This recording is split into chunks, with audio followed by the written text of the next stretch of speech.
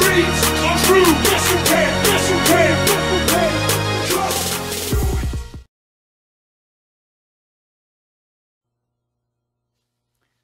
This is one law that I have really learned to love.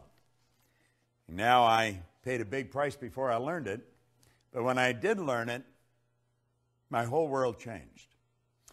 And you know, it wasn't until I had studied this material for some time that this law made sense.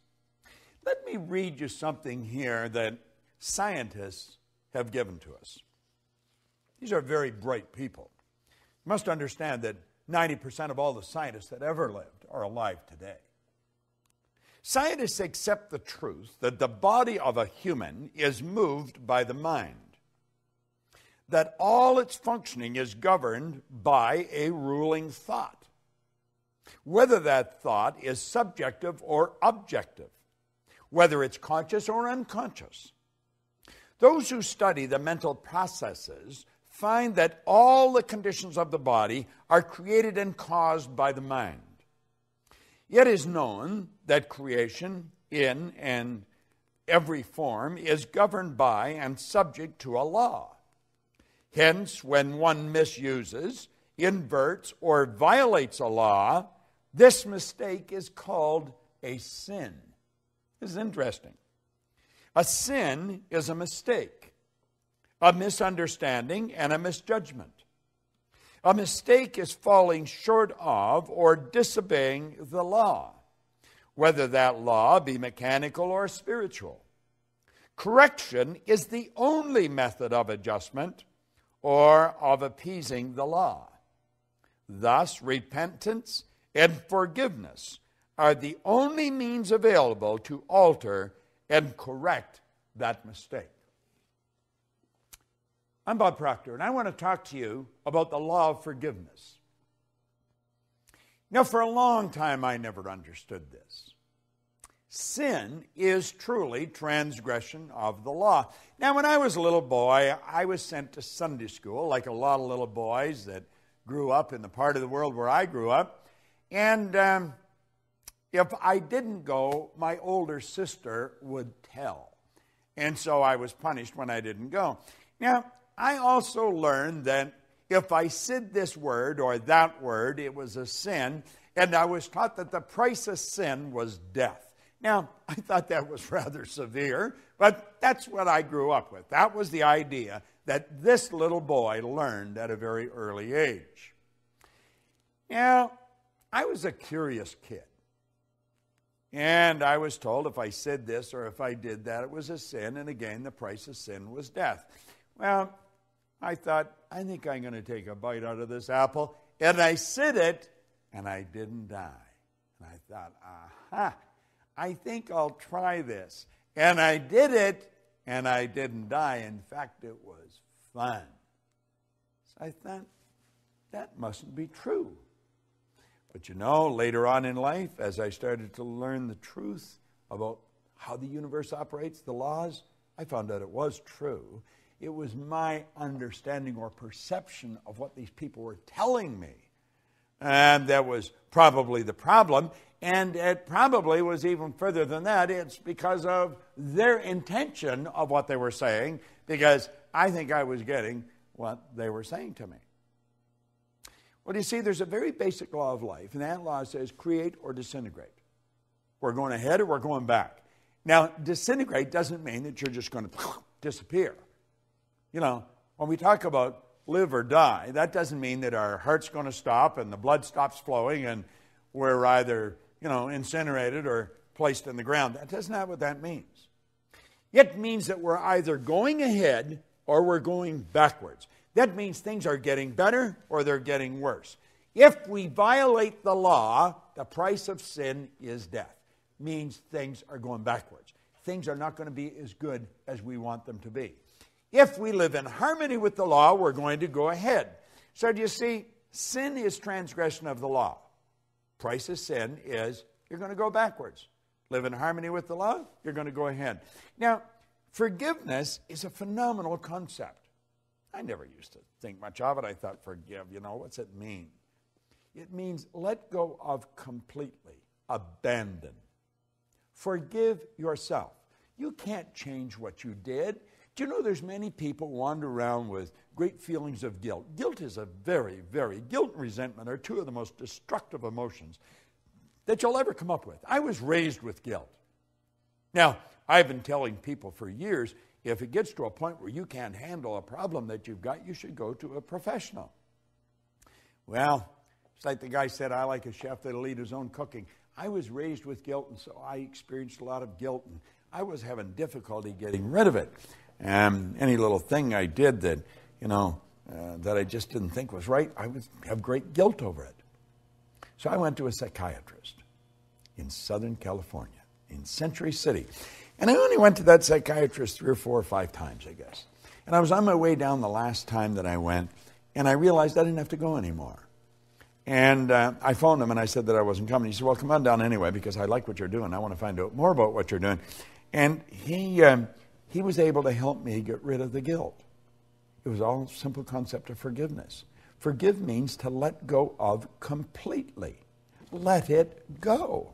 Forgiving is a very healthy concept. We've got to learn to forgive ourselves. We've got to forgive others. We have to realize that what we did yesterday, we cannot change. If you did something deliberately wrong, let it go. Forgive yourself. If you did it and you didn't do it deliberately, forgive anyway. Let it go. If someone else has done something to you, don't hold any resentment. Let it go. Now, that doesn't mean that you want to go and give them an opportunity to do it all over again. You may move away from that. But you cannot hold bad thoughts in your mind and move in a good direction. Listen to something else that Holliwell brought it out here. He said, A noted physician talking before a group of other medical people on this very subject of thought being the source of disease was recorded as having said in his concluding remarks abnormal tumors and cancers are due to a long period of suppressed grief and anxiety. Another way of saying that such diseases are due to a lot of sinful thoughts getting bottled up and suppressed within our minds. If this state is so destroying, it might be wise for us to probe into our own selves and note the effect our emotions have upon the physical organism. Then let us seek by every means at our command to overcome and abandon and forsake every emotional tug that has a debilitating and disturbing effect. Do you know, that's such excellent advice. Do you know, if you go way back, found out we're just absolutely ridiculous. A lot of bad blood comes from wrong thinking. Try and understand this everything works from a higher to a lower potential. When you're dealing with electricity, you must work from a higher to lower potential. We don't even know what electricity is, but we do know the laws by which it operates. If you want a greater flow of electricity, put in a bigger bulb, get a bigger transformer. The only limit placed on electricity is the limit that's placed on the form through which it's flowing. Well, it's exactly the same with us. We work from a higher to a lower potential. We go from the thought to the thing. Spirit always manifests through its polar opposite. You go from the non physical to the physical. You and I have the ability to tap into a non physical world, a world of thought. And we can choose our thoughts. We can choose any thoughts we want. Do you know Viktor Frankl was a Viennese psychiatrist, spent the war years in a uh, concentration camp. And he said it was while he was in the camp that he realized that regardless of the physical or intellectual abuse that he was subjected to, no one could cause him to think something he didn't want to think. Do you know that's where attitude begins? Attitude is the composite of our thoughts, which cause our feelings, which express in actions. See, our thoughts, feelings, and actions, when they're all in sync, that's an attitude. Well, we want to have the proper attitude, we're going to live in a healthier body. We want to have the proper attitude and we're going to enjoy the wealth that we look for. We want to enjoy the proper attitude and we're going to have the friends that we want. But one basic concept is that you have to forgive yourself and you have to forgive others. You see, guilt and resentment are without question two of the most destructive emotions that anybody can experience. Of all the laws that you're going to study, This could be one of the most liberating of all of them forgiveness, letting go of, abandon. Just let it go. And when it comes back into your mind, let it go again. Form the habit of not holding on to anything that's causing you to feel bad. Start to love yourself. Start to respect yourself. Have a healthy respect for what you're capable of doing. And understand this carrying bad thoughts about anyone or anything is not doing anyone any good. It's sinful, it's destructive, and the price of sin is death. Now, that doesn't mean they're going to bury you, but it may be burying your company, it may be burying your income, it may be burying your friends because they won't want to see you. Forgiveness, it's going to cause everything to grow. It's going to cause you to be healthier. It's going to cause your income to grow, your friends to grow, your business to grow. Forgive. It's a beautiful law.